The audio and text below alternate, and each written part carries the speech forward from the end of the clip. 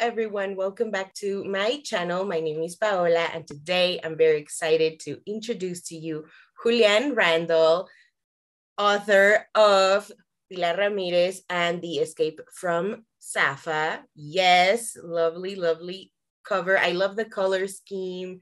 My eyes are lilac. You can't really tell because the lighting sucks, but they are lilac in honor of the book. Um, so Julian, would you like to introduce yourself and tell us a little bit about your book? Hi, everybody. My name is Julian Randall. Uh, I am a living queer Black poet from the Logan Square neighborhood of Chicago, and I'm a Virgo. I think that's everything uh, that is kind of central to me. This lovely book, which pulled up just the other day, uh, made my weekend, made my life, honestly is uh, Pilar Ramirez and the Escape from Zafa, which comes out from Holt Books for Young Readers March 1st. So, Pilar is a story that I've been wanting to tell for 20 years. So, to kind of back it up, I'm 28 years old now. When I was eight years old, I stumbled in on my mother crying, and it's the first time I'd ever seen her cry. Um, so, obviously, I needed to know what had caused this earth shattering event. And it was that she was reading a book called uh, In the Time of the Butterflies by Julia Alvarez, which, if you haven't had a chance to read it, is this stunning history of the four Mirabal sisters who led the revolution against Rafael Leonidas Trujillo, who was the dictator of the Dominican Republic for 31 years. And so I asked her why this book was making her cry. And she said, This is the story of the women who fought back against the dictator who picked your abuelo off the island. So I tear off the school the next day trying to find as many books as I can because I want to know how this is happening. I want to ask my abuelo, but he was, you know, a native Spanish speaker who I did not have uh, the fluency to like really take advantage of the stories that he had going on inside of him.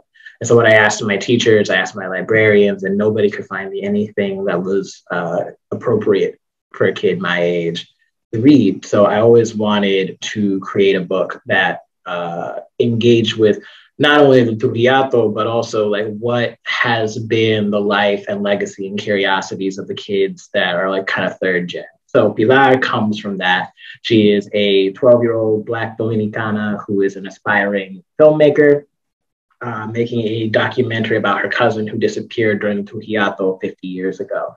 So when she hears that there's a professor at the University of Chicago who does research on the exact same subject, boom, she's on the next L.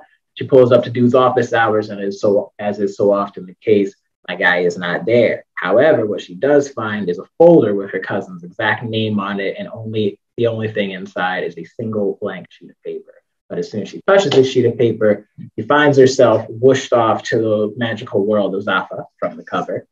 I'm just gonna show this as many times as, I can. I'm, I'm so excited to be able to like hold it. But yes, so it turns out that on the magical island of Zafa, there is all kinds of Dominican mythos and magic. There's ciguapas and a council of galipotes who have been leading the resistance against El Cuco, uh, the Dominican boogeyman who was in league with Trujillo the whole dang time.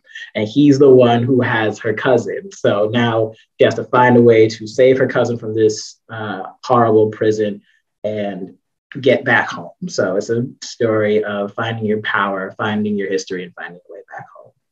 I love how high the stakes are. Like it's out of this world. I love it. And I also love that Pilar is a journalist. She's an aspiring filmmaker and she's trying to get to the bottom of the disappearance of her cousin. So, what was the most rewarding thing about writing Pilar's story? So, I have a, he's much older than he is in this picture, but I have a nephew. His name is Dominic, uh, and I'm his tío Julian. And I think that because this is the first time that I've written fiction, uh, I'm, my traditional training is as a poet, it was so cool to watch Pilar just kind of come more and more into herself and getting to know like what are the things that she notices in the same way that watching Dominic grow up across the years, you know, at first, like it was all this and then and then and then. And the moral of the story is that he saw a grave.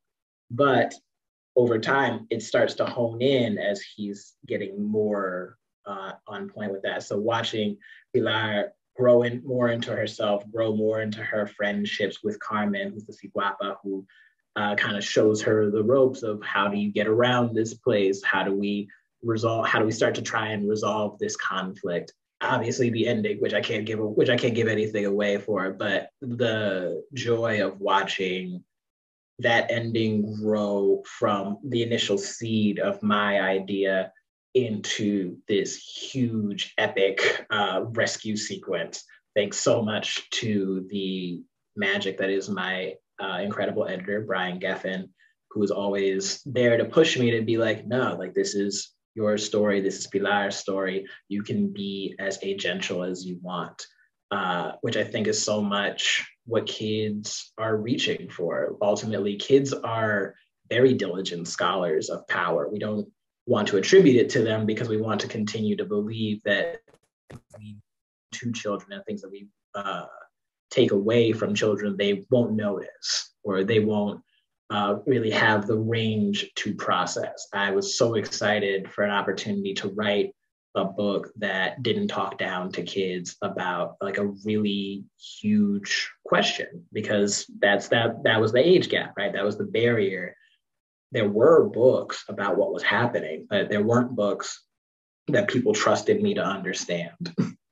And i'm really just proud of how this came out in terms of writing a book that I trust kids to understand and hopefully love. Yes, yes. I love what you said about not talking down to kids. Kids are incredibly perceptive and I just I love that you incorporated that into into Pilar's story and how how it came across. I think you can really tell how intentional um, you were. So if you found yourself in Zafa, what creature would you be most excited to see? I would love to meet the Galipote sisters. I would. I, it would just. It would bring me such joy just to kind of like hear their dynamic with each other. Though, if it's a question of it's a day trip rather than I'm here and I don't know how long it's going to be until I get back. If it's just a day trip, I would love to kick it with La Bruja for a little while.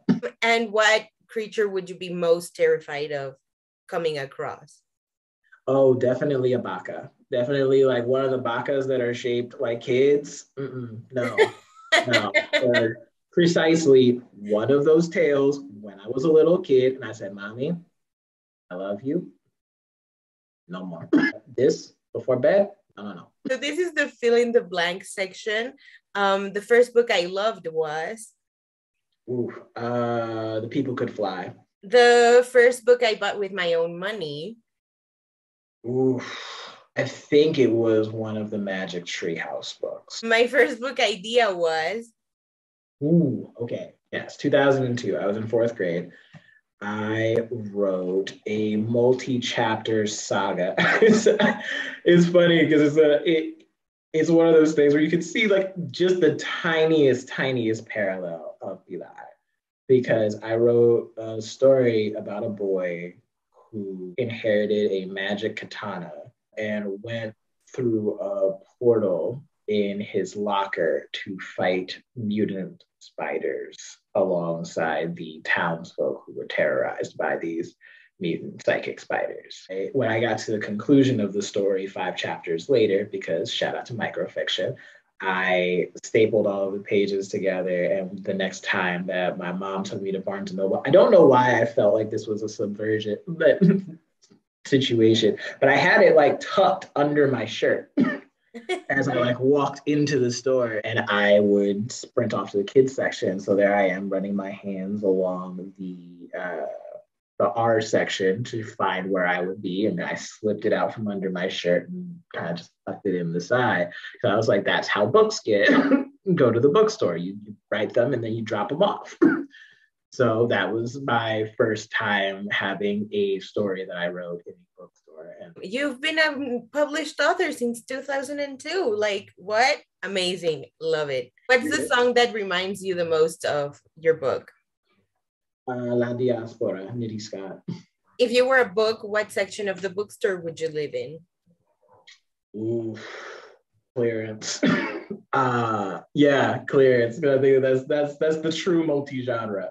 All things come together there, and I always love the idea of spitting to a room full of like folks who normally wouldn't be together. So I think yeah, clearance.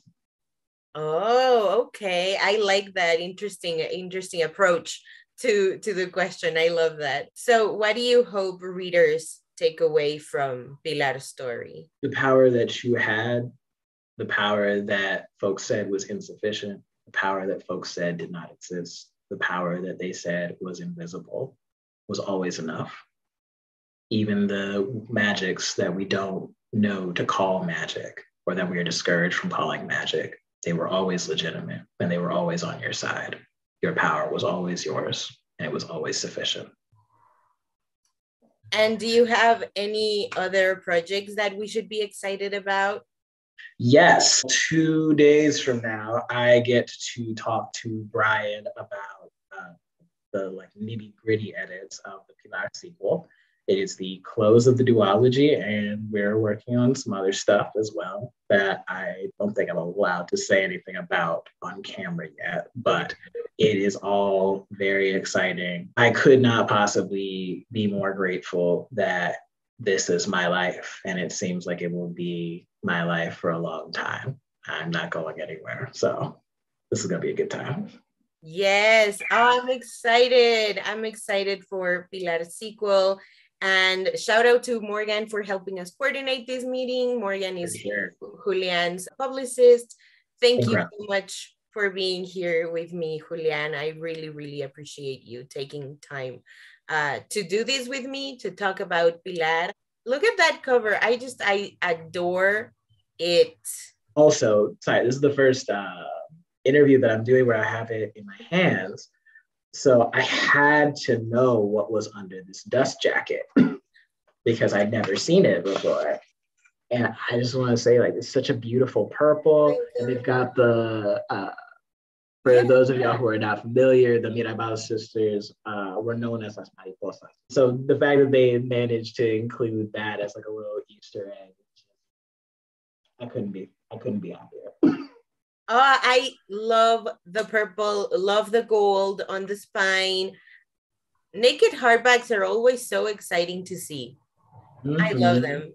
Again, thank you so much for doing this with me. People at home, don't forget to check out the description below for all relevant links, including buy links for Pilar Ramirez and the Escape from Zafa, as well as Julian's website and socials.